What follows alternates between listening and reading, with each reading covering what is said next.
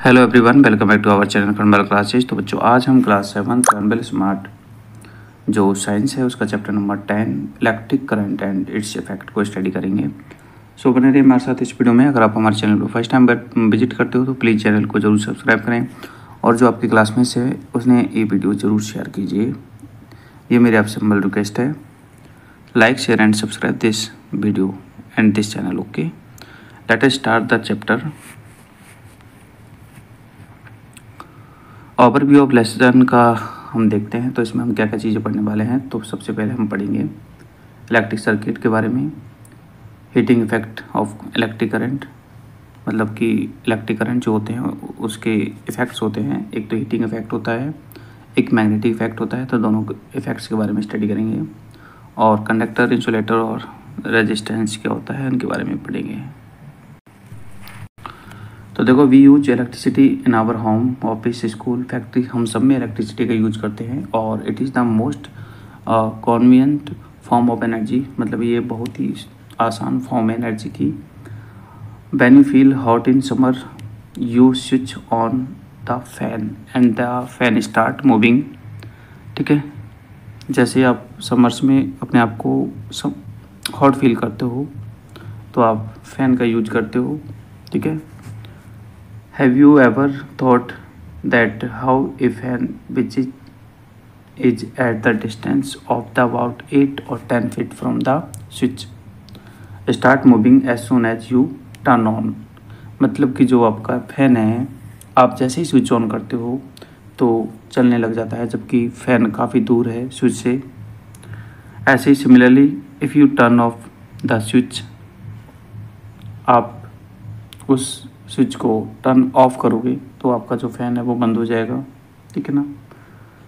The power that make the fan move is called electric charge तो वो power जो कि उस फ़ैन को, ठीक है मूव करा रही है, या फिर मूविंग फ़ैन को बंद करा रही है। तो उस पावर को हम इलेक्ट्रिक चार्ज कहते हैं। The flow of electric charge is called electric current और इलेक्ट्रिक चार्ज की जो फ्लो है, या इलेक्ट्रिक चार्ज का किसी सर्किट में फ्लो होना, उस इलेक्ट्रिक करंट कहलाता है। And the path which is moves is called electric circuit और वह पाथ जिसमें कि इलेक्ट्रिक करंट या फिर इलेक्ट्रिक चार्ज मूव करते हैं, हम उस पाथ को इलेक्ट्रिक सर्किट कहते हैं, ठीक है? जैसे आपका फ़ैन यहाँ पे है, ठीक है ना?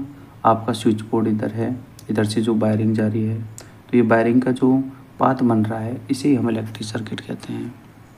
आगे हम इलेक्ट्रिक सर्किट्स के बारे में पढ़ेंगे भी, ठीक है ना? और ऐसा यूनिट जो होती है इलेक्ट्रिक करंट की, वो एम्पेयर होती है अंडरलाइन कर लो वेरी इंपॉर्टेंट है।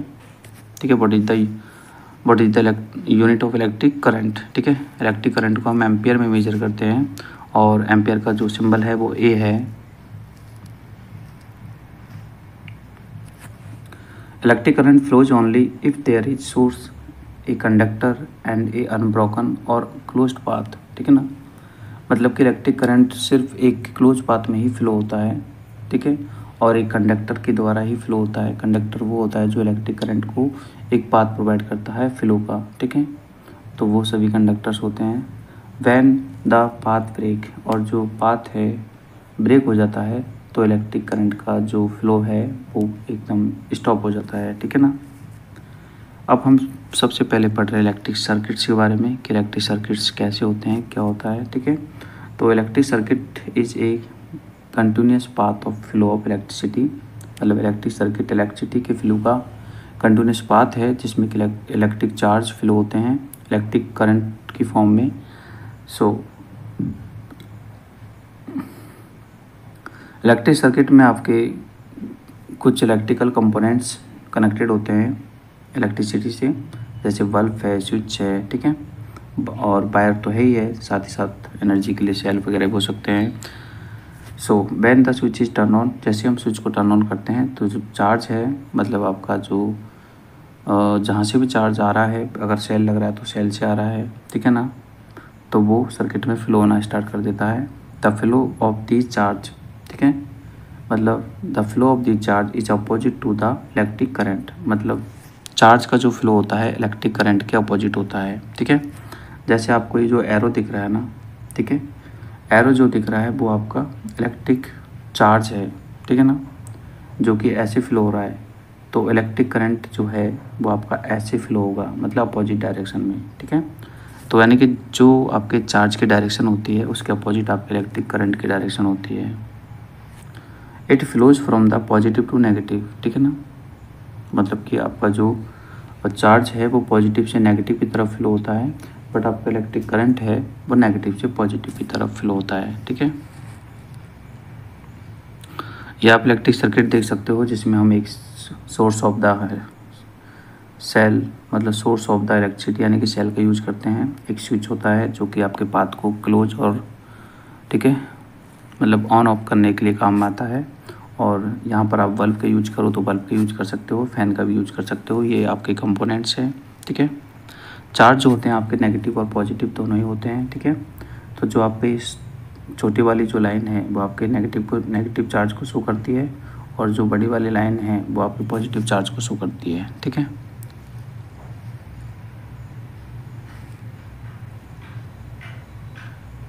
ठीक है? तो इस डायग्राम में आपको ये जो डायरेक्शन को आपको ध्यान रखना है, ये चार्ज की डायरेक्शन इधर होगी तो आपके, देखो करंट की डायरेक्शन इधर होगी, ठीक है? Just opposite. चलो बात कर लेते हैं कंपोनेंट ऑफ़ द सर्किट्स के बारे में और कंपोनेंट्स के सिंबल क्या होते हैं। तो देखो कंपोनेंट में आपके cell bulb wire switches electric और ठीक है सारे कंपोनेंट होते हैं। For the studying circuit we have generally draw simple diagrams मतलब कि हम इनकी कुछ सिंपल डायग्राम ड्रॉ करते हैं, जिन्हें सिंबल कहते हैं, जैसे बल्ब का सिंबल ये होता है, ठीक है ना? For example we have to be draw a simple circuit having a cell switch bulb wire ठीक है? Have to be show the circuit when switch is on off it is like to be shown in figure along side it is certainly very in convenient hence standard symbols are use to be draw circuits मतलब कि भाई हम, हमारा electric जो circuit होता है, उसमें bulb का बैटरी का, ठीक है? और स्विच का यूज़ करते हैं। बट हम यहाँ पर, ये यह हमारी बैटरी है तो हम इनके ओरिजिनल जो डायग्राम्स है, उनका यूज़ नहीं करते हैं। इनकी जगह हम, इनके सिंबल्स यूज़ करते हैं। जैसे बैटरी ऐसी होती है, लेकिन बैटरी का सिंबल हम ये वाला यूज़ करते हैं, ठीक है? ये पॉजिटिव है और ये नेगेटिव है, ठीक है? ऐसे आपका बल्ब ऐसा होता है, लेकिन बल्ब का सिंबल जो है, हम ये वाला यूज़ करते हैं, ठीक है? ये बल्ब का सिंबल है। ऐसे आपका स्विच तो ओरिजिनल जैसा भी है बट हम यहाँ पर स्विच का जो है ऐसा यूज़ करते हैं, ठीक है ना? ये भी स्विच है, या फिर ऐसे भी यूज़ करते हैं, ऐसे, ठीक है? तो ये हम इनके सिंबल्स पढ़ रहे हैं। आगे देखो, फैक्ट फ़ाइल में क्या दिया हुआ है? The magnitude of an electric current, ठीक है? इलेक्ट्रिक करंट के मैग्नीट्यूड को एम मीटर से मेजर किया जाता है, ठीक है? एमीटर से मेजर किया जाता है इलेक्ट्रिक करंट, ठीक है? अगर हमें ये मेजर करना है कि इस सर्किट में कितना इलेक्ट्रिक करंट फ्लो हो रहा है तो हम यहाँ पर, ठीक है, बीच में एमीटर लगा सकते हैं और एमीटर का जो सिंबल होता है, वो सर्किट में ऐसे होता है, ठीक है। एमीटर का काम है इलेक्ट्रिक करंट को मेजर करना, ठीक है। अगर वोल्टेज को मेजर मेजर करना चाहते हैं तो वोल्टेज का सिंबल हम लगा सकते हैं। ऐसा ही सिंबल वोल्टेज का होता है, सिर्फ़ वी चेंज हो जाता है, ये वोल्टेज का सिंबल है, ठीक है। लेकिन वोल्टेज को हम मतलब यहाँ पे नहीं लगा सकते, ठीक है। वोल्टेज को अगर हमें लगाना है तो इसको पैरेलल लगाना पड़ता है। ऐसे, ठीक है ना? ऐसे लगाना पड़ता है। चलो नेक्स्ट पेज पे तो यहाँ पर आपके कुछ सिंबल्स दे रखे हैं, आपको उनको स्टडी करना है। ये टेबल इम्पोर्टेंट है। इलेक्ट्रिक सेल का सिंबल आपका ये है, बताई दिया मैंने, ये नेगेटिव ये पॉजिटिव ठीक है स्विच और स्विच का जो सिंबल है सॉरी बल्ब का जो सिंबल है ऑन और ऑफ़ में, ठीक है? तो ये बल्ब तो बल्ब का सिंबल यही होता है बट ऑन की ऑन की कंडीशन में ठीक है, हम ये वाला बनाते हैं। ऑन की कंडीशन में ये ड्राइंग कर देते हैं अलग से, देखो ये, ठीक है, ऐसे पता चल रहा है कि बल्ब जल रहा है, ठीक है।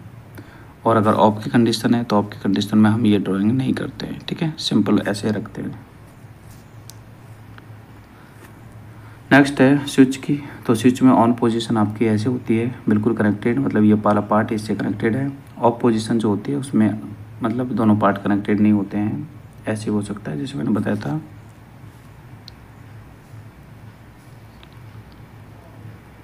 नेक्स्ट है आपकी बैटरी तो बैटरी आपकी ये है। ठीक है, इसमें देखो वन टू थ्री ठीक है, ये थ्री सेल की बैटरी है। आप चाहो तो टू सेल की बैटरी लगा दो। टू सेल में आपको ऐसे भी ये करना पड़ेगा, ये टू सेल की बैटरी हो गई, ठीक है? अगर आपको थ्री करना है तो इसको आगे बढ़ा दो, एक और सेल लगा दिया, एक और लगा दो ऐसे, एक और लगा दो ऐसे, ठीक है? सेल बढ़ते जाते हैं तो बैटरी का सिंबल आपका वायर का सिंबल आपका स्ट्रेट लाइन होती है, ठीक है? ये सारे सिंबल हम सर्किट को बनाने में यूज़ करते हैं। आगे बढ़ते हैं सेल के लिए तो सेल एक डिवाइस है, जिससे कि हम इलेक्ट्रिक करंट को लेते हैं, यानी कि source of the electric current इस सेल हैज़ पॉजिटिव और नेगेटिव टर्मिनल बताई दिया मैंने आपको, ये पॉजिटिव टर्मिनल है, ये नेगेटिव टर्मिनल है। ठीक है पॉजिटिव को प्लस से और नेगेटिव को माइनस से शो करते हैं। फिर पढ़ते हैं स्विच के बारे में तो स्विच एक डिवाइस है, जो कि किसी भी सर्किट को ओपन और क्लोज करने में हेल्प करती है। ठीक है? A switch has two terminal switch के भी दो टर्मिनल होते हैं, जो कि वायर से कनेक्टेड होते हैं। वैन स्विच इज़ ऑन और जब स्विच ऑन मोड में होता है, ठीक है? तो हम उस सर्किट को कंप्लीट सर्किट कहते हैं। ये अंडरलाइन कर लो और समझ भी लेना। जब स्विच आपका ऑन है तो कंप्लीट सर्किट है। मतलब कि जब आपने फ़ैन के फ़ैन को चलाने के लिए स्विच को ऑन किया तो आपका सर्किट कंप्लीट है। और स्विच को ऑफ़ किया तो सर्किट इनकम्प्लीट है। ठीक है ना? तो ये आपका कंप्लीट सर्किट है, ये आपका इनकम्प्लीट सर्किट है। क्यों? क्योंकि बल्ब जल रहा है। ठीक है? और यहाँ पर देखो स्विच कनेक्टेड है। यहाँ पर स्विच कनेक्टेड नहीं है, इसलिए बल्ब ग्लो नहीं हो रहा। आगे देखो क्लोज और ओपन सर्किट जिसके बारे में भी हम बात कर रहे थे क्लोज सर्किट तो is a circuit in which electric current flows वह सर्किट जिसमें इलेक्ट्रिक करंट फ्लो होता है तो वो आपका क्लोज सर्किट होता है और इलेक्ट्रिक करंट आपके पॉजिटिव टर्मिनल बैटरी के पॉजिटिव टर्मिनल से नेगेटिव टर्मिनल की तरफ़ फ्लो होता है, ठीक है? ओपन सर्किट में जो है आपका इलेक्ट्रिकल कॉन्टैक्ट है, वो किसी भी पॉइंट पर ब्रॉक रहता है मतलब टूटा हुआ रहता है सो आपका सर्किट ओपन रहता है। जैसे मैंने बताया था, देखो, यहाँ पर, ठीक है, पूरा वायर जो है मतलब कनेक्टेड नहीं है, ये वाला पार्ट इस वाले पार्ट से कनेक्टेड नहीं है तो ये सर्किट आपका ऑफ़ है, यानी कि सर्किट ओपन है। अब हम बात करते हैं बैटरी की, ठीक है? तो बैटरी मैंने बताया दिया electrical cell are use to be run a number of device in our daily life जैसे टीवी रिमोट है, ठीक है? टॉर्च है ट्रांजिस्टर है रेडियो है, इन सभी में हम इलेक्ट्रिक सेल मतलब जो इलेक्ट्रिक सेल्स हैं, उनका यूज़ करते हैं, बहुत चीज़ हैं, उनमें भी यूज़ करते हैं, ठीक है? और भी काफ़ी अप्लाइंसेज है, जिनमें इलेक्ट्रिक सेल का यूज़ करते हैं। तो combination of cells is called battery underline कर लो इसको। ठीक है बैटरी कोई अलग चीज़ नहीं है कॉम्बिनेशन ऑफ़ सेल्स बैटरी है, अगर आप एक सेल लगाओगे, ठीक है तो ये भी एक सेल की बैटरी हो गई, ठीक है। अगर आप दो सेल लगाओगे तो इसमें एक और जोड़ दो, देखो, ये लो, दो सेल की बैटरी हो गई। एक और लगाना चाहो तो एक और जोड़ दो, तीन सेल की बैटरी हो गई, ये वन सेल टू सेल और एक थ्री सेल ठीक है। तो combination of cell is called battery ठीक है। तो देखो ये आपका वन सेल है। यहाँ पर देखो दो सेल को कनेक्ट किया गया है, ठीक है? यहाँ पर तीन सेल को कनेक्ट किया गया है। तो बैटरी बनाने के लिए हम ऐसे ही कनेक्ट करते हैं। और कनेक्ट करने का जो वो है सिस्टम, वो भी देख लो। पॉजिटिव को नेगेटिव से, ठीक है? पॉजिटिव को नेगेटिव से, ठीक है? और ये पॉजिटिव और ये नेगेटिव, ठीक है? यहाँ पर आप बल्ब लगा दो, आराम से ग्लो हो जाएगा। ठीक है, ये सिस्टम है। आगे नेक्स्ट पेज पर हम देखते हैं to make an electric cell क्या हम इलेक्ट्रिक सर्किट बना सकते हैं तो बिल्कुल बना सकते हैं। ठीक है, हम ये एक सेल लेंगे और एक बल्ब लेंगे, ठीक है, और दो वायर्स लेंगे, ठीक है। एक पॉजिटिव वायर को आपको यहाँ पे लगाना है बल्ब के, बाहर के हिस्से पे, और इसको आपको नीचे के हिस्से पे लगाना है, ठीक है। आपका बल्ब ग्लो हो जाएगा तो ये आपका क्लोज सर्किट हो गया। अगर आप एक वायर को हटा दोगे तो आपका बल्ब ग्लो नहीं होगा तो ये आपका ओपन सर्किट हो गया। आगे बात करते हैं कंडक्टर्स और इंसुलेटर की, ठीक है? कंडक्टर्स वो होते हैं जो कि अलाउ करते हैं इलेक्ट्रिक करंट को पास थ्रोक देम मतलब कि कंडक्टर वो हैं जो कि इलेक्ट्रिक करंट को अलाउ करते हैं, वो कंडक्टर हैं और जो इलेक्ट्रिक करंट को पास नहीं करते हैं, वो आपके इंसुलेटर हैं। कंडक्टर में आपके सारे मेटल्स कंडक्टर हैं, ठीक है? All metal all metals are good conductor insulator में आपके वुड है प्लास्टिक है और बैकेलाइट ठीक है? बैकेलाइट एक बैड कंडक्टर मतलब एक तरह से इंसुलेटर है बैकेलाइट ठीक है? बैकेलाइट का यूज़ हम कुकर वगैरह के जो हैंडल होते हैं, वो बनाने में करते हैं। आपने देखा होगा कुकर का जो हैंडल होता है ब्लैक कलर का होता है, वो बैकेलाइट का बना होता है, ठीक है ना? आगे बात करते हैं। रेसिस्टेंस ठीक है? रेसिस्टेंस क्या होता है? तो सिंपल सी बात है, देखो जो करंट के फ्लो का अपोज करता है, वो आपका रेसिस्टेंस होता है। तो देखो every substance has a tendency to oppose the flow of current passing through it मतलब हर सब्सटेंस की ये टेंडेंसी होती है कि वो, जो भी उनमें करंट पास होता है, वो उसका अपोज करता है। तो इस टेंडेंसी को ही हम रेसिस्टेंस कहते हैं, ठीक है ना? The property of a material by virtue of the which is oppose the flow of electric current. मतलब कि किसी मटेरियल की प्रॉपर्टी जो कि उसके इलेक्ट्रिक करंट के फ्लो का अपोज करती है, उसे हम रेसिस्टेंस कहते हैं। The lower resistance of an object the greater current देखो अंडरलाइन कर लो, बहुत इंपॉर्टेंट लाइन है ये। अगर रेसिस्टेंस लो होगा तो करंट ज़्यादा होगा, ठीक है? और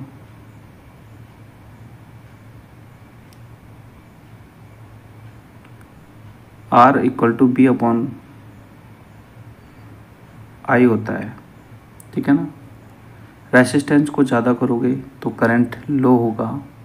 करंट को ज़्यादा करोगे तो रेसिस्टेंस लो होगा।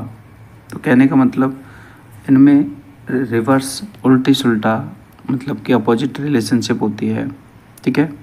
तो यानी कि अगर हमें किसी सर्किट में करंट ज़्यादा लेनी है तो हमें उस सर्किट में रेसिस्टेंस को कम करना पड़ेगा, ठीक है? रेसिस्टेंस की जो यूनिट होती है, वो ओम होती है और ओम का सिंबल है ऐसे, ये ओम का सिंबल है, ठीक है? ये मंत्रा जैसे मैंने बताया था आपको करंट की यूनिट आपकी एम्पियर होती है और एम्पियर का सिंबल आपका ए होता है। ऐसे ओम का सिंबल आपका ये होता है, ठीक है ना? ओम किसकी यूनिट है? रेसिस्टेंस की, ठीक है? तो जितने भी आपके इंसुलेटर्स हैं, वो आपके गुड रेसिस्टेंस होते हैं, ठीक है? वो आपके अच्छे रेसिस्टेंस होते हैं क्योंकि वो हाई रेसिस्टेंस को एक तरह से ऑफ़र करते हैं, ठीक है? तभी तो इंसुलेटर्स में करंट फ्लो नहीं होती क्योंकि वो करंट का इतना पोज करते हैं, ठीक है ना? अब ध्यान से देखो, एक ये वायर है, ठीक है ना? ये लो, एक सर्किट बना दिया, इसमें लगा दिया बल्ब तो सिंपल सी बात है कि वल्फ एक रेसिस्टेंस है या नहीं है? बिल्कुल है। क्योंकि वल्फ जो है, इस करंट को रोक रहा है। जो भी करंट को रोकने की कोशिश करेगा, वो रेसिस्टेंस है। आगे देखते हैं क्वेश्चन आंसर्स ट्रू फॉल्स बताने हैं। Combination of cells is called battery ये ट्रू है। Cells are joint to get lower voltage ये कह रहा है कि सेल्स को हम ज्वाइन करते हैं टू गेट लोअर वोल्टेज तो सेल्स को ये फॉल्स है। The unit of resistance is ampere ये भी फॉल्स है। A switch is a device that use to be open और क्लोज सर्किट तो ये ट्रू है। Insulators are substance which allow current to pass through them तो ये फॉल्स है, ठीक है? इंसुलेटर जो है करंट को पास नहीं करते हैं। वो कंडक्टर होते हैं जो करंट को पास करते हैं। आगे हम पढ़ रहे हैं heating effect of the electric current electric current आपका हीटिंग इफ़ेक्ट प्रोड्यूस करता है। आपने देखा होगा, जो भी इलेक्ट्रिकल अप्लाइंसेज है, वो कुछ मतलब रनिंग के दौरान गर्म हो जाती है। तो गर्म क्यों होती है? क्योंकि इलेक्ट्रिक करंट हीटिंग इफ़ेक्ट को प्रोड्यूस करता है। और इस इस प्रॉपर्टी के कारण काफ़ी सारी अप्लाइंसेज है जिनका हम यूज़ करते हैं। ठीक है? इस इफ़ेक्ट के कारण हम काफ़ी सारे अप्लाइंसेज का यूज़ करते हैं। जैसे आपका काफ़ी सारी है जैसे इलेक्ट्रिक प्रेस है ठीक है ना? तो वो हीटिंग इफ़ेक्ट पे वर्क करती है आपका आ,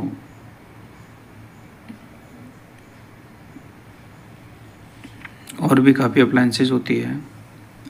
हीटर है वो भी इलेक्ट्रिकल इलेक्ट्रिक करंट के हीटिंग इफ़ेक्ट पे वर्क करता है। तो देखो when the electric current is pass through के रेसिस्टेंस मतलब जब इलेक्ट्रिक करंट किसी हाई रेसिस्टेंस से पास होता है ठीक है, जैसे नाइक्रोम है और कॉपर है, ये हाई रेसिस्टिव होते हैं, ठीक है। The electric current is converted into heat तो इलेक्ट्रिक करंट जो होती है, वो आपकी हीट में कन्वर्ट हो जाती है हीट एनर्जी में कन्वर्ट हो कन्वर्ट हो जाती है, ठीक है। मतलब इलेक्ट्रिक एनर्जी हीट एनर्जी में कन्वर्ट हो जाती है और वो वायर को हीट अप करती है। इसे ही heating effect of the electric current कहते हैं। Let's perform some activity to observe the heating effect of the electric current तो देखो to show the heating effect of the electric current in electric bulb जैसे हमने ये bulb जला रखा है, ठीक है सेल से इसको कनेक्ट कर रखा है तो हम देखेंगे कुछ देर बाद ये बल्ब जो है, इसका बाहर का हिस्सा जो है, एक तरह से गर्म होने लग जाता है, ठीक है? वो गर्म इसलिए होता है कि ये जो आपका इलेक्ट्रिक सर्किट है, या फिर इलेक्ट्रिक करंट है, या फिर इलेक्ट्रिक एनर्जी है, वो हीटिंग इफ़ेक्ट शो करती है, इसलिए ही वो गर्म होता है। आगे देखते हैं। Activity third to show that heating effect of the electric current is a nichrome wire मतलब कि हम यहाँ पर नाइक्रोम वायर से हीटिंग इफ़ेक्ट को शो कर तो देखो नाइक्रोम का जो वायर होता है, वो एक गुड रेसिस्टेंस होता है। मतलब कि उसका हाई रेसिस्टेंस होता है। ठीक है रेसिस्टेंस नाइक्रोम का हाई होता है। नाइक्रोम है, टंगस्टन है, ये ऐसे वायर हैं जिनका रेसिस्टेंस हाई होता है। ठीक है? टंगस्टन का यूज़ हम बल्ब के अंदर जो वो आप स्प्रिंग देखते हो तो वो टंगस्टन की होती है। नाइक्रोम का जो यूज़ है, वो हम हीटिंग इफ़ेक्ट के लिए ही करते हैं। काफ़ी सारे अप्लाइंसेज में जैसे हीटर वगैरह है, ठीक है? इलेक्ट्रिक गीजर है, इलेक्ट्रिक प्रेस है, ठीक है? तो उन समय में हम उन्हीं वायर का यूज़ करते हैं एज ए हीटिंग पर्पज जिनका रेसिस्टेंस हाई होता है। इस, अब ये वाली जो एक्टिविटी है, इसमें हमने देखो इलेक्ट्रिक सर्किट बना रखा है, ठीक है ना? एक कार्ड बॉक्स में ये आलपिन को डाल रखा है और बीच में ये जो वायर है, ये नाइक्रोम का लगा रखा है बीच में हमने। जैसे हम यहाँ से स्विच को ऑन करते हैं तो करंट फ्लो होती है सर्किट में, ठीक है? और कुछ देर तक हम फ्लो होने देते हैं, उसके बाद में हम इसको स्विच को ऑफ़ करके और हम इसको टच करते हैं। तो हमें देखते हैं कि ये जो वायर है, वो थोड़ा गर्म हो गया है। गर्म इसलिए हो गया है क्योंकि वो हीटिंग इफ़ेक्ट को शो करता है। The amount of heat produce in a wire due to the heating effect मतलब कि किसी वायर में हीट जो प्रोड्यूस होती है, वो हीटिंग इफ़ेक्ट के कारण होती है। And electric current depend on the resistance of the wire मतलब कि जो हीटिंग इफ़ेक्ट है, वो उस पर्टिकुलर जो वायर है, उसके रेसिस्टेंस पर डिपेंड करेगा कि अगर रेसिस्टेंस हाई है तो हीटिंग इफ़ेक्ट ज़्यादा होगा, ठीक है? रेसिस्टेंस कम है तो हीटिंग इफ़ेक्ट कम होगा। और इलेक्ट्रिक करंट के मैग्नीट्यूड पर भी डिपेंड करता है कि कितना इलेक्ट्रिक करंट जो है, उस पर्टिकुलर सर्किट में पास हो रहा है, ठीक है? अगर देखो higher of the resistance of a material the greater is heat मतलब कि रेसिस्टेंस हाई होगा तो हीट भी ज़्यादा होगी।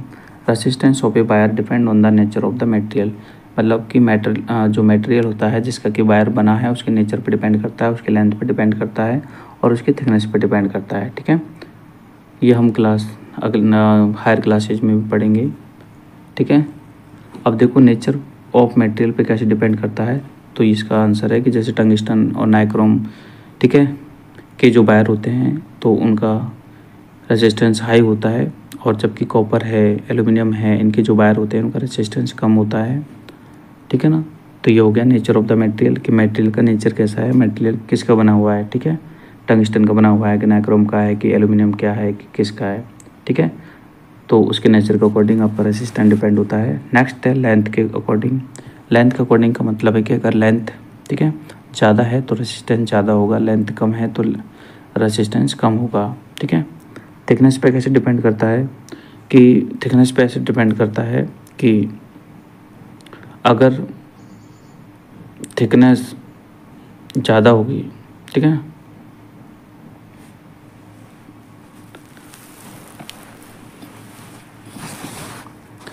ठीक है, अगर थिकनेस ज़्यादा होगी, ठीक है तो आपका जो रेसिस्टेंस है वो कम होगा और थिकनेस कम होगी तो रेसिस्टेंस ज़्यादा होगा। जो मोटे वायर होते हैं, उनका रेजिस्टेंस कम होता है और जबकि जो पतले वायर होते हैं, उनका रेजिस्टेंस ज़्यादा होता है। ये है थिकनेस का मतलब ठीक है ना? Similarly greater the magnitude of current passing through a wire greater will be the heat produced और करंट भी ज़्यादा होगी तो हीट भी ज़्यादा होगी, ठीक है? तो हीटिंग इफ़ेक्ट किन किन चीज़ों पर डिपेंड करता है? एक बार फिर से रिपीट करते हैं। एक तो नेचर ऑफ़ द मटेरियल पे, एक लेंथ पे, एक थिकनेस ऑफ़ वायर पे और एक करंट पर डिपेंड करता है कि करंट ज़्यादा है तो हीटिंग इफ़ेक्ट ज़्यादा होगा। नेक्स्ट है application of the heating effect तो काफ़ी सारी एप्लीकेशंस है, ठीक है? एक तो आपके इलेक्ट्रिक आयरन है इलेक्ट्रिक रूम हीटर है इमर्सन रॉड है इलेक्ट्रिक टोस्टर है, ये सारी चीज़ें जो होती है हीटिंग इफ़ेक्ट के ही प्रिंसिपल पर वर्क करती है, ठीक है? इन सभी अप्लाइंसेज में देखो एक कोयल होती है जिसमें कि हाई रेसिस्टेंस होता है, ठीक है? इनकी जो कोयल होती है, ज़्यादातर नाइक्रोम वायर की बनी होती है, ठीक है? और या फिर एलोज की बनी होती है ठीक है? नाइक्रोम खुद भी एक एलोज है। नाइक्रोम जो है निकिल क्रोमियम और आयरन का मिक्सचर होता है। मतलब इन तीनों चीज़ों से मिल के बनता है नाइक्रोम वायर ठीक है?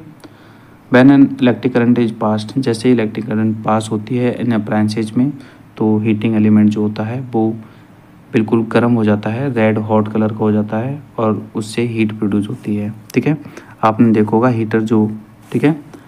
आप जो हीटर रूम हीटर यूज़ करते हो तो उसकी जो अंदर की वायर है मतलब जो बिल्कुल गर्म हो जाती है, रेड कलर की हो जाती है, और जो कि हीट प्रोड्यूस करती है, ठीक है? और यहाँ पर हम ये ये जो फिलामेंट देख रहे हैं, ठीक है, ये जो स्प्रिंग टाइप का फिलामेंट होता है बल्ब में तो ये भी टंगस्टन का बना होता है, ठीक है? और टंगस्टन और आपका ये नाइक्रोम, ठीक है? ये दोनों ही क्या हैं? गुड गुड क्या वो? हाई रेजिस्टेंस को शो करते हैं। मतलब कि हीटिंग के लिए हाई रेजिस्टेंस ही चाहिए और ये हाई रेजिस्टेंस को ही शो करते हैं, ठीक है? नेक्स्ट पेज पर देखते हैं आगे हम बात करते हैं इलेक्ट्रिक फिलामेंट के बारे में। तो इलेक्ट्रिक फिलामेंट जो होता है बल्ब का, वो भी टंगस्टन का बना होता है, बताई दिया मैंने आपको। ठीक है? तो टंगस्टन भी हाई रेसिस्टेंस वाला होता है और वो भी एक तरह से इमिट होता है मतलब कि लाइट और हीट प्रोड्यूस करता है।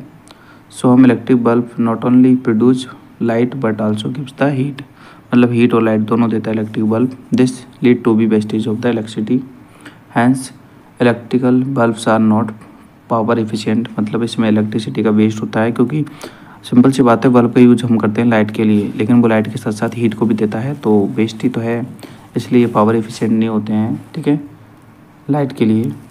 आगे, इनकी जगह हम सी का यूज़ करते हैं। ठीक है ना? सी एफ़ एल जो होती है, वो पावर एफिशिएंट होती है। मतलब कि पावर उनमें कम पावर में ही हमें काम चल जाता है। मतलब कम पावर में अच्छी लाइट देता है C F Ls the wastage of electricity can be reduced ठीक है? Using C F Ls C F Ls का जो फुल फॉर्म होता है, वो होता है कॉम्पैक्ट फ्लोरोसेंट लैम्प ठीक है? तो फ्लोरोसेंट ट्यूब लाइट्स मतलब कि ट्यूब लाइट का यूज़ कर सकते हैं या फिर ऐसी सी एफ़ एल्स आती है, उनका यूज़ कर सकते हैं। Instead of the electric bulb मतलब बल्ब की जगह, ठीक है? क्योंकि they do not work on the principle of the heating effect मतलब कि ये हीटिंग इफ़ेक्ट पर वर्क नहीं करते हैं मतलब कि ये हीट प्रोड्यूस नहीं करते हैं, जबकि बल्ब जो है लाइट के साथ साथ हीट भी प्रोड्यूस करता है, इसलिए वो पावर एफिशिएंट नहीं है। CFLs can be fixed in ordinary bulbs holder that are use to be electrical bulbs मतलब शेपल को हम इलेक्ट्रिक बल्ब की जगह हम उन्हीं होल्डर में लगा सकते हैं। The running cost of a CFLs and fluorescent tube light is much less as they consume less electricity as last longer मतलब कि इनका जो ये कम एनर्जी को कंज्यूम करते हैं और अच्छी लाइट देते हैं हमें। Before buying an electrical appliances look the I mark मतलब कि आई मार्क को हमें देखना चाहिए। जब भी हम किसी इलेक्ट्रिकल अप्लाइंसेज को परचेज कर रहे हैं बाई कर रहे हैं तो ठीक है? ISI का फुल फॉर्म होता है इंडियन स्टैंडर्ड इंस्टीट्यूट, ठीक है?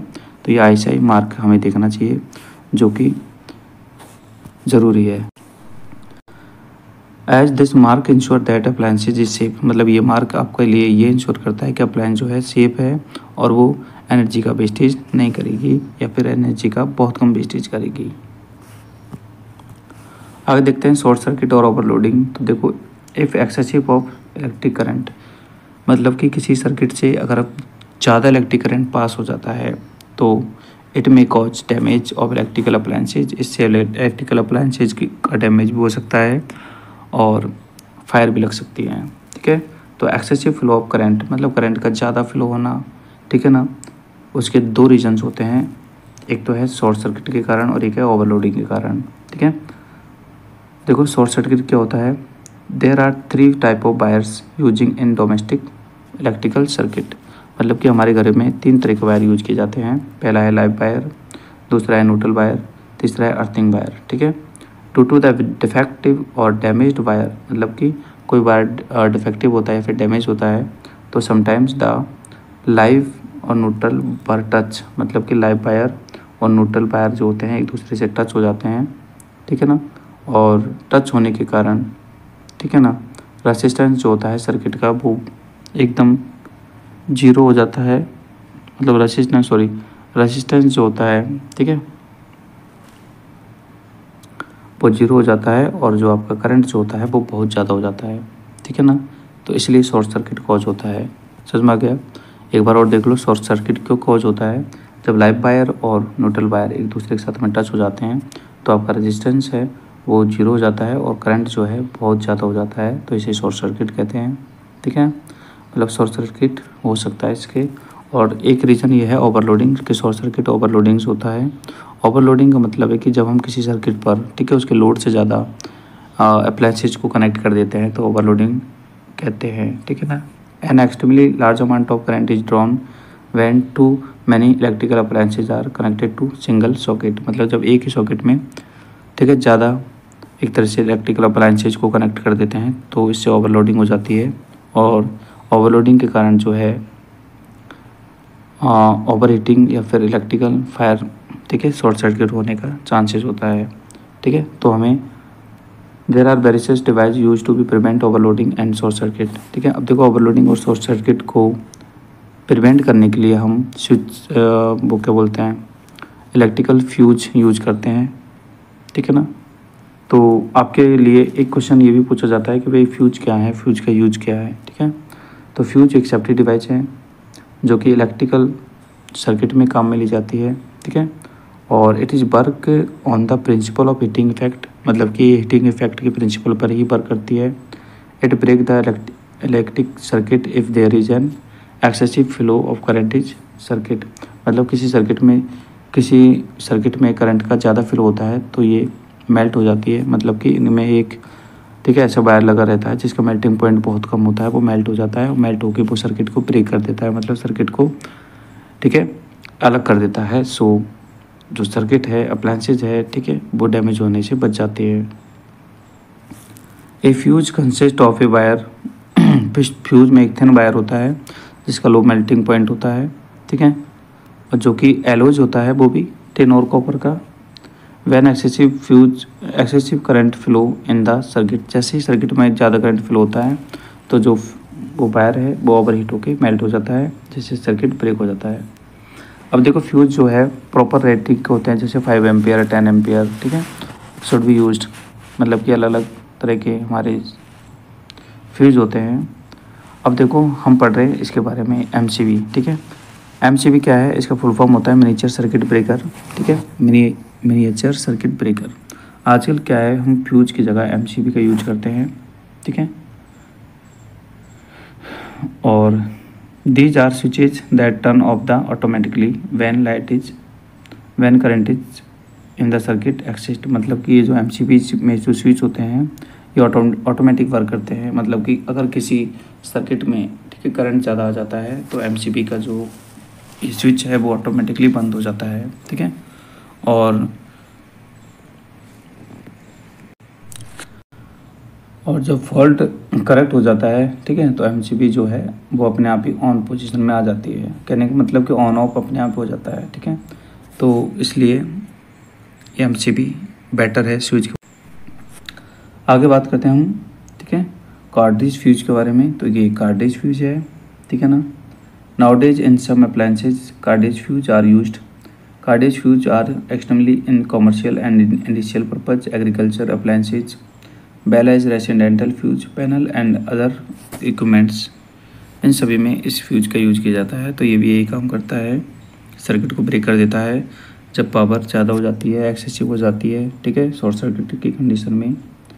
अब बात करते हैं टाइम टू क्वेश्चन आंसर्स की तो देखो आंसर द फॉलोइंग क्वेश्चन है what is the full form of M C B miniature circuit breaker overloading क्या होती है? अभी हम जस्ट पढ़े थे what is the heating element heating element जो होते हैं, वो हीटिंग इफ़ेक्ट को कॉज करते हैं मतलब कि नाइक्रोम और टंगस्टन इसका आंसर होगा, दोनों हीटिंग एलिमेंट हैं। आगे देखो magnetic effect of the electric current अब हम एक इफ़ेक्ट तो पढ़ लिए heating effect of magnetic effect पढ़ते हैं। You learn in class you learn needle of the magnetic compass point in the north south direction when be rest when a magnetic compass is kept close the current carrying wire the needle deflected आपने notice किया होगा कि जो magnetic compass है, ठीक है? ये तो आप जानते हो कि मैग्नेटिक जो कंपास है, उसमें जो नीडल होती है, वो हमेशा नॉर्थ और साउथ डायरेक्शन को ही शो करती है. बट अगर हम मैग्नेटिक कंपास को किसी करंट केयरिंग कंडक्टर के पास रख देते हैं करंट केयरिंग कंडक्टर मतलब जिससे जिस वायर में करंट फ्लो हो रही है, मान लीजिए इस वायर में करंट फ्लो हो रही है, ठीक है? इसके पास हमने मैग्नेटिक जो कंपास है उसको रख दिया है तो भी इसकी जो मैग्नेटिक नीडल है वो डिफ्लेक्ट होती है मतलब कि वो अपने डायरेक्शन को चेंज करती है, ठीक है? ऐसा इसलिए होता है क्योंकि ये हमारा जो करंट है वो मैग्नेटिक इफ़ेक्ट को शो करता है मतलब मैग्नेटिक इफ़ेक्ट को शो करता है, ठीक है? Hans Christian Oersted was the first to be noticed the deflection of the compass needle when current was made to pass through the wire. मतलब कि हैंस क्रिश्चियन और जो अरेस्टेड हैं, वो पहले व्यक्ति थे जिन्होंने इस कंपास निडल में, ठीक है? कंपास निडल के डिफ्लेक्शन को देखा था, ठीक है? जब उन्होंने किसी वायर मतलब करंट वाले वायर के पास में कंपास बॉक्स को रखा था तो उसमें डिफ्लेक्शन उन्हें दिखाई दिया, ठीक है? एक्टिविटी फोर है, जिसमें हमें शो करना है कि करंट कैरिंग जो वायर होता है, वो एक मैग्नेट की जैसा बिहेव करता है तो बिल्कुल सही है। भाई सिंपल सी बात है कि इस वायर में करंट है और ये जो मैग्नेटिक सुई जो होती है, इसकी नीडल जो होती है, वो डिफ्लेक्ट हो रही है। इसका मतलब कि यहाँ पर कोई मैग्नेटिक चीज़ है। तो एक्चुअल में जो करंट कैरिंग वायर होता है मैग्नेटिक इफ़ेक्ट को शो करता है। ठीक है? When electric current is pass through the conductive wire it behave like magnet बिल्कुल सही बात है किसी वायर में करंट फ्लो हो रहा है तो वो वायर एक मैग्नेट के जैसा बिहेव करता है। और इसी बिहेवियर के कारण हम इसे मैग्नेटिक इफ़ेक्ट कहते हैं और ऐसे वायर्स को इलेक्ट्रोमैग्नेट बनाने के लिए काम में लिया जाता है। मतलब कि यही इलेक्ट्रोमैग्नेट है। नेक्स्ट एक्टिविटी फाइव है, जिसमें हम देख रहे हैं to show that magnetic field is induced by an electric current तो देखो मैग्नेटिक फ़ील्ड क्रिएट होता है क्योंकि मैग्नेटिक फ़ील्ड इसलिए क्रिएट होता है क्योंकि वायर है, इसमें करंट फ्लो होती है तो ये मैग्नेटिक की तरह व्यवहार करता है बिहेव करता है और मैग्नेटिक फ़ील्ड क्रिएट होता है। अगर हम ज़्यादा करंट को फ्लो करते हैं तो ज़्यादा मैग्नेटिक फ़ील्ड क्रिएट होता है, ठीक है ना? तो ये एक्टिविटी पढ़ लीजिए आप सेल्फ आ जाएगी समझ में। आगे देखते हैं। When an electric current is pass through conductor मतलब जब किसी कंडक्टिव वायर के पास से इलेक्ट्रिक करंट को हम उसमें से फ्लो करते हैं तो एक मैग्नेटिक तरह वो बिहेव करता है तो ये बात सही है। With the increase in current और करंट को अगर बढ़ाते हैं तो मैग्नेटिक फ़ील्ड का जो मैग्नीट्यूड है वो बढ़ता है। मैग्नेटिक फ़ील्ड का मैग्नीट्यूड से मतलब है कि मैग्नेटिक फ़ील्ड बढ़ता है, ठीक है?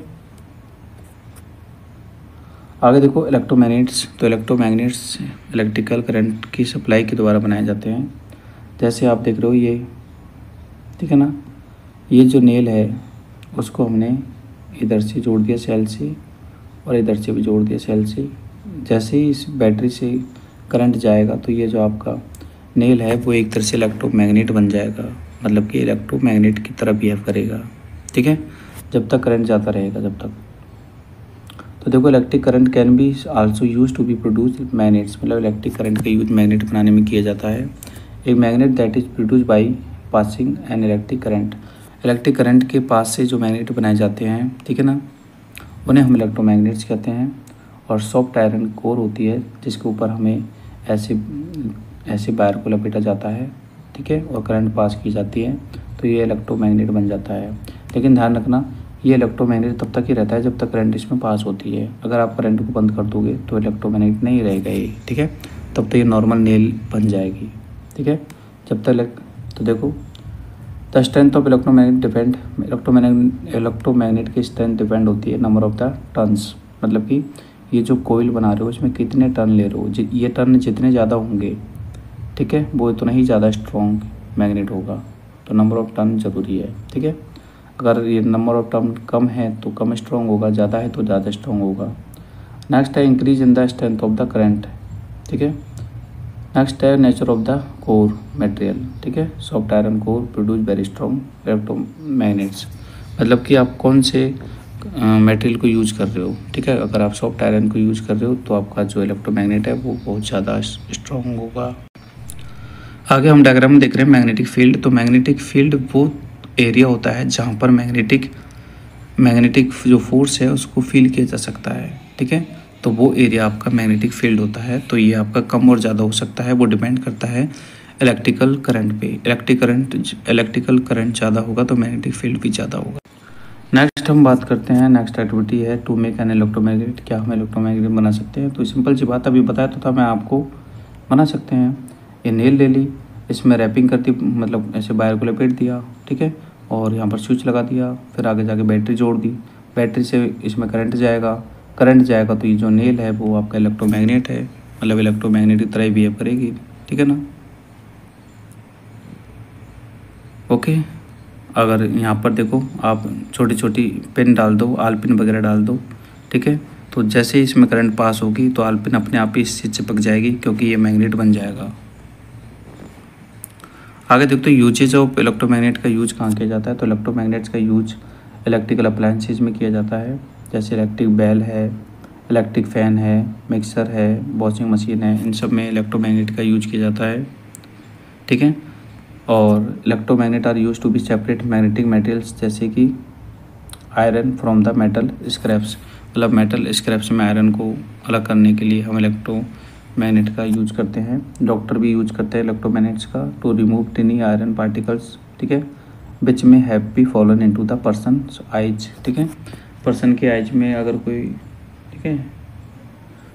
आयरन पार्टिकल चल जाता है तो उसको निकालने के लिए डॉक्टर भी मैग्नेट का यूज़ करते हैं इलेक्ट्रोमैग्नेट्स का। नेक्स्ट है electromagnets are use in medical science to be cure certain elements ठीक है? मेडिकल साइंस में भी यूज़ किया जाता है। इलेक्ट्रोमैग्नेट का यूज़ क्रेन्स में करते हैं स्टील वर्क्स में एंड स्क्रैप यार्ड में भी हैवी लोड्स को लिफ्ट करने में इलेक्ट्रोमैग्नेट्स का यूज़ किया जाता है क्रेन में। आगे जो हम पढ़ रहे हैं, वो पढ़ रहे हैं इलेक्ट्रिक बैल के बारे में, कि इलेक्ट्रिक बैल में कैसे जो है इलेक्ट्रोमैग्नेट वर्क करता है, क्योंकि इलेक्ट्रिक बैल जो होती है इलेक्ट्रोमैग्नेट के प्रिंसिपल पर ही वर्क करती हैं, ठीक है? तो देखो it works on the principle of magnetic effect of the current it consist of electromagnet iron strip और हैमर गोंग और स्विच ये सभी चीज़ें इसमें होती हैं, ठीक है? ये जो आप पार्ट देख रहे हो, गोल वाला, ये गोंग होता है। ये हैमर होता है, जो कि इस गोंग को पीटता है, ठीक है ना? बार बार और इससे आपकी इलेक्ट्रिकल बेल बचती है, ठीक है? और ये आपका इलेक्ट्रोमैग्नेट है क्योंकि इसमें कोयलिंग रहती है ठीक है? अब देखो ध्यान से। One end of the electromagnet is connected to the positive terminal मतलब इलेक्ट्रोमैग्नेट का वन एंड जो होता है पॉजिटिव टर्मिनल से कनेक्टेड होता है और अदर एंड जो होता है वो आपका कनेक्टेड होता है मेटल स्ट्रिप से। मतलब ये मेटल की स्ट्रिप है यहाँ से अदर हम्म, ठीक है? उससे कनेक्टेड होता है। The negative terminal of the battery is connected to the contact screw ठीक है? नेगेटिव टर्मिनल जो होता है कॉन्टैक्ट स्क्रू से कनेक्टेड होता है। देखो ध्यान से। ये आपका एक वायर इधर गया, इसमें आपकी कोयलिंग हो जाएगी, ठीक है? और दूसरा वायर जो है, वो आपके इधर जाके स्विच लगा दिया और यहाँ पे जाके इससे कनेक्ट हो जाएगा, ठीक है? ये आप देख रहे हो, ये है आपके मेटल की स्ट्रिप ठीक है? दूसरा वायर इससे कनेक्टेड होता है, पहला वायर इसमें इधर होता है। अब जैसे आप करंट इसमें पास करोगे, ठीक है?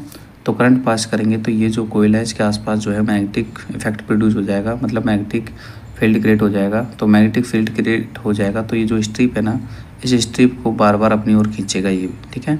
और स्ट्रिप को खींचेगा तो स्ट्रिप से ही ये हैमर लगा हुआ है। तो स्ट्रिप को जैसे ही ये मैग्नेट बार बार खींचेगा तो हैमर भी इस गोंग पर बार बार टन टन टन टन मतलब ऐसे आवाज़ करेगा, ठीक है? तो इसी हिसाब से जो है ये आपका वर्क करता है। तो देख लो वर्किंग इसमें when you press the switch मतलब जैसे हम स्विच से बैल की स्विच को प्रेस करते हैं इलेक्ट्रिक करंट जो उसमें पास होता है, ठीक है? तो electromagnet attack the iron strip मतलब इलेक्ट्रोमैग्नेट जो है वो आयरन स्ट्रिप को अटैक करता है और हैमर जो है वो आयरन स्ट्रिप से अटैच हो, है ही हैमर ठीक है? तो हैमर जो है वो गोंग पर प्रोड्यूस होता है मतलब गोंग पर बार बार गिरता है और गिरने के कारण आवाज़ प्रोड्यूस होती है। ठीक है? When and iron strip has move to be the electromagnet. और जब आयरन स्ट्रिप को इलेक्ट्रोमैग्नेट से मूव कर लेते हैं, ठीक है तो no longer touch is the screw और सर्किट ब्रेक। देखो, ये इसमें एक मैग्नेटिक फ़ील्ड क्रिएट हो रहा है तो ये आयरन की जो स्ट्रिप है, इसको अपनी ओर खींच रहा है, ठीक है, और ये स्ट्रिप को खींचेगा तो ये जो हैमर है, इस पर टच हो जाएगा और ये घंटी बजेगी, ठीक है। और अगर ये दूर रहेगा तो ये आयरन की स्ट्रिप दूर रहेगी तो हैमर भी दूर रहेगा तो फिर घंटी नहीं बजेगी, ठीक है। तो ये ऑन पोजिशन है और ये ऑफ़ पोजिशन है। ठीक है? मतलब कि हम स्विच को ऑन करके ऑफ़ करते हैं। ठीक है? तो ऑन करते हैं तो ऐसी पोजीशन है ऑफ़ करते हैं तो ऐसी पोजीशन है, ऐसे।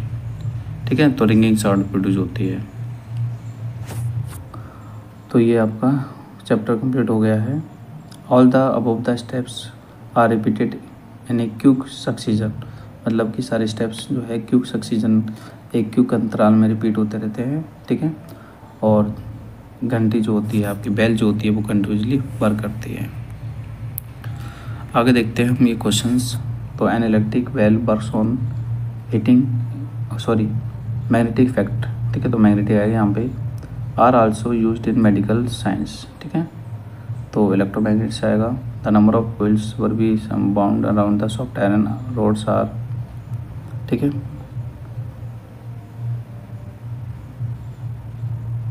तो एक minute.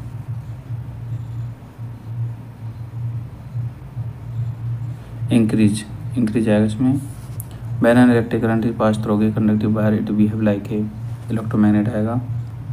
Produce very strong electromagnets ठीक है? तो इलेक्ट्रिक कह रहे अच्छा produce very strong electromagnets soft iron ठीक है? सॉफ्ट आयरन आ जाएगा इसमें। तो ये चैप्टर कंप्लीट है होप कि आपको वीडियो पसंद आएगा तो प्लीज़ इस वीडियो को लाइक कीजिए और इस चैनल को सब्सक्राइब कीजिए। मिलते हैं नेक्स्ट वीडियो में तब तक लिए बाय